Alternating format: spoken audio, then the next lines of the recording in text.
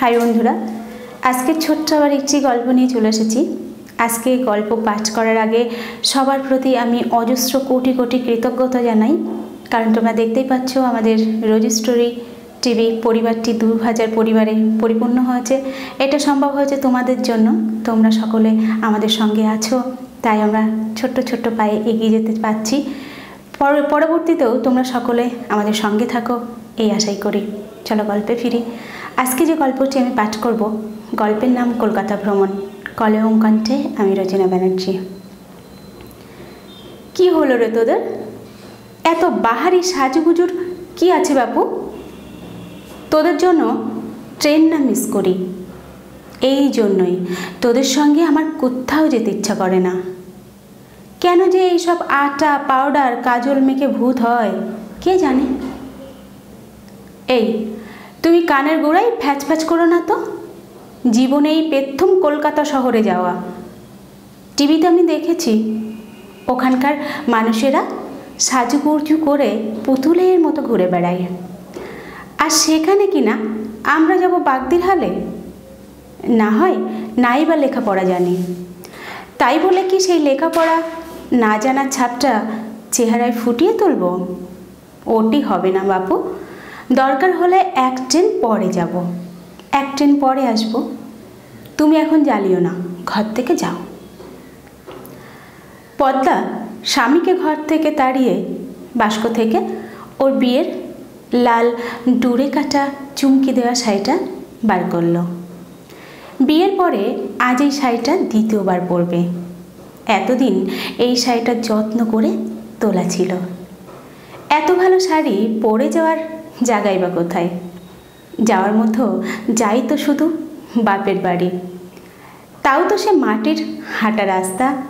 হেঁটে যাওয়ার সময় পিছনে এক মন ধুলো উঠতে উঠতে যাই।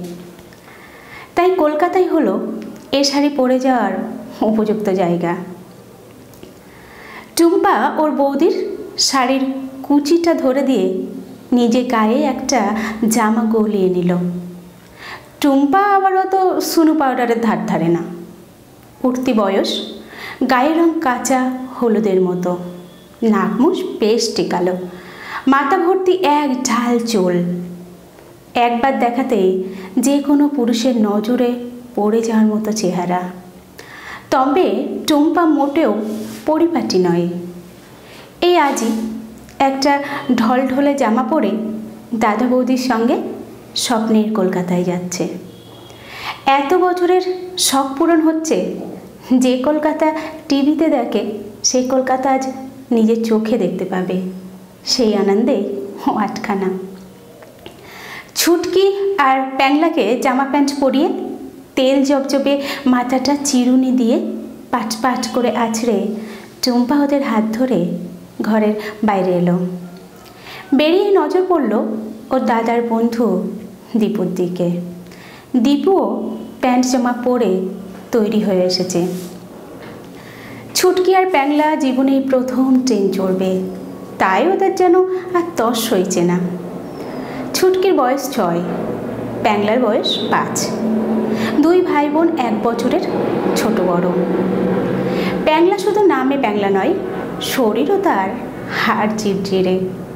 তার সাইজের জামা বাজারে অমিল।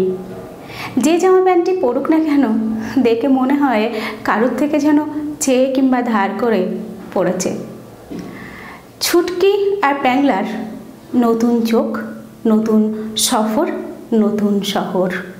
দুজনেরই চোখে মুখে কত কৌতূহল, কত বিস্ময়। আস্ত একটা ট্রেন, তার মধ্যে যেন মেলা বসেছে। এক একজন এক এক রকম খাবার নিয়ে উঠছে। কারোর কাছে বাদাম কারও কাছে বা ছোলা মাখা, কেউ নিয়ে উঠেছে ঝালমুড়ি, কেউ বা লেবু চা। প্যাংলার মনে হচ্ছে সব খাবারগুলো হাউমাউ করে খেয়ে নিই।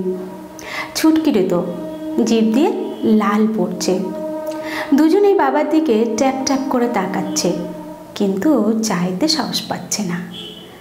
কারণ বাবা বাড়ি থেকে বলেই এনেছে বাইরে গিয়ে খাওয়া খাওয়া করলে আর কখনো ঘুরতে নিয়ে আসবে না।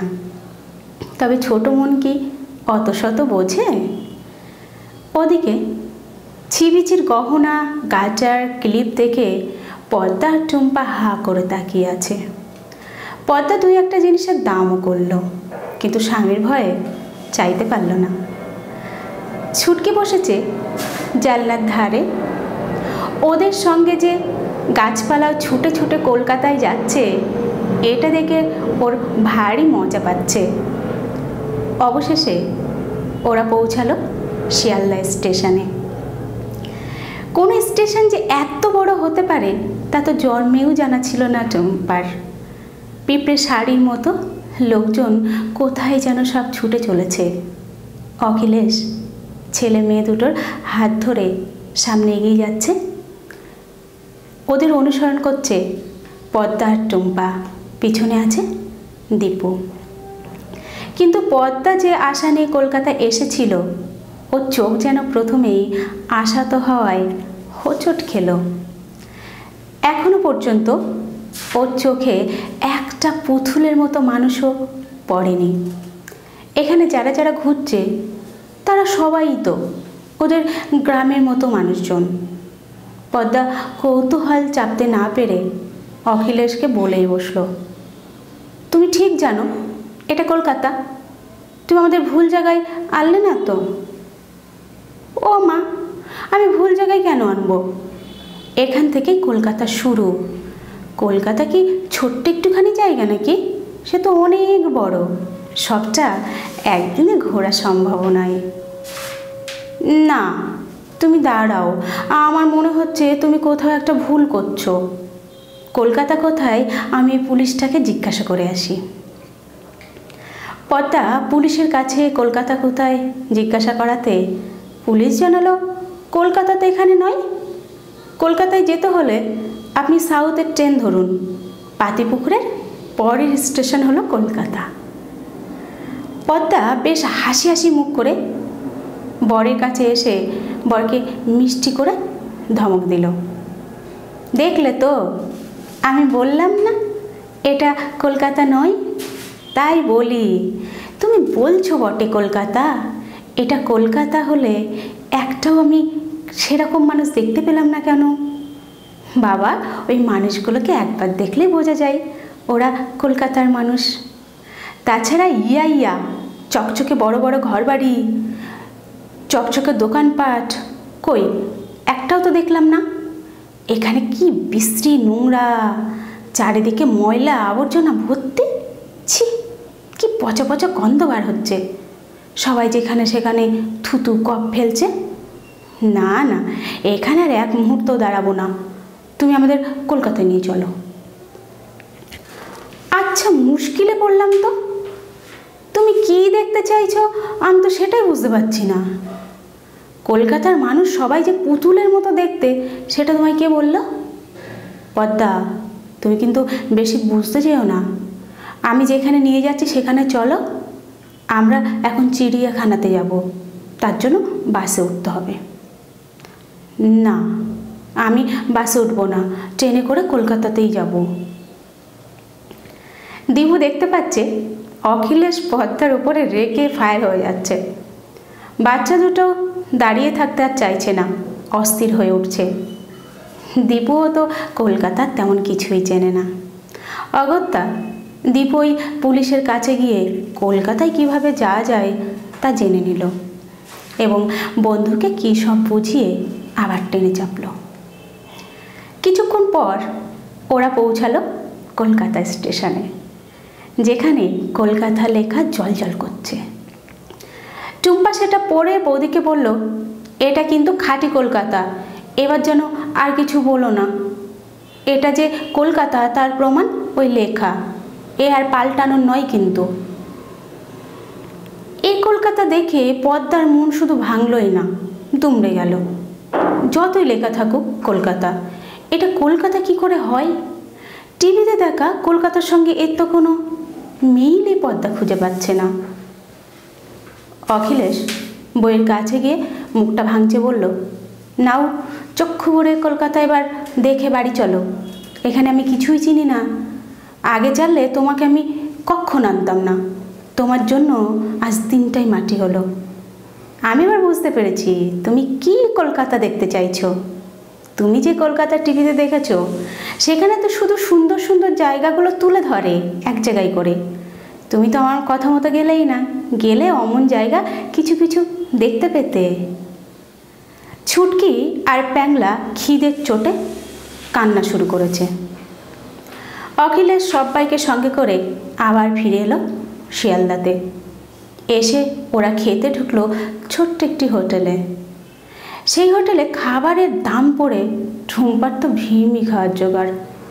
যে ডাল ভাত গ্রামের লোক ফ্রিতে খেতে দেয় তাই নাকি এখানে চল্লিশ টাকা? টেলটেলে মাছের ঝোল সে নাকি ষাট টাকা। দুটো পাতলা লুচি পনেরো টাকা।